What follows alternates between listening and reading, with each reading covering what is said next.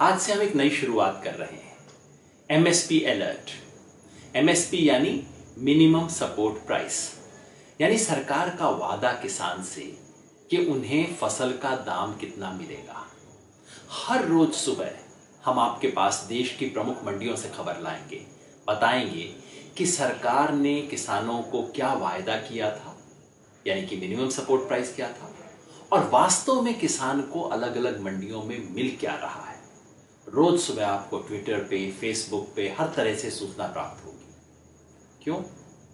क्योंकि देश में खेती किसानी का संकट है। किसान आत्महत्या कर रहे हैं। सब लोग मान रहे हैं कि इसका एक ही सॉल्यूशन है, और वो है किसान की इनकम बढ़ाना। इनकम कैसे बढ़ेगी? उसको फ़सल के ठीक दाम मिल सके, ये सुनिश्चित करवा के।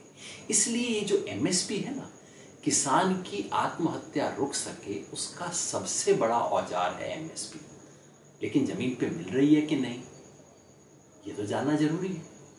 पिछले दो हफ़्ते से मैं देश भर में घूम रहा हूँ मंडियों में। ऐसा लग रहा है कि शायद देश में कहीं नहीं मिल रही।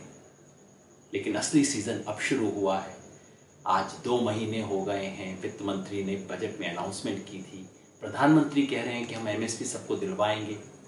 इसलिए हम सब के लिए ज़रूरी है कि जाने कि वास्तव में किसान को उसका हक मिल रहा है या नहीं। तो आप देखिएगा, रोज ट्विटर पे फेसबुक पे, मेरे ट्विटर फेसबुक पे, स्वराज अभियान, स्वराज इंडिया के फेसबुक पे आपको पूरी सूचना मिलेगी। और हाँ अगर आप खुद ही सूचना देना चाहें, बताना चाहें कि आप जिस मंडी को जानते हैं, वहाँ क्या हाल है, किसानों को क्या दिक्कत का सामना करना पड़ रहा है, क्या उन्हें मिल रही है एमएसपी या नहीं तो इस ब्रॉडकास्ट के अंत पे आपको एक ईमेल अकाउंट मिलेगा।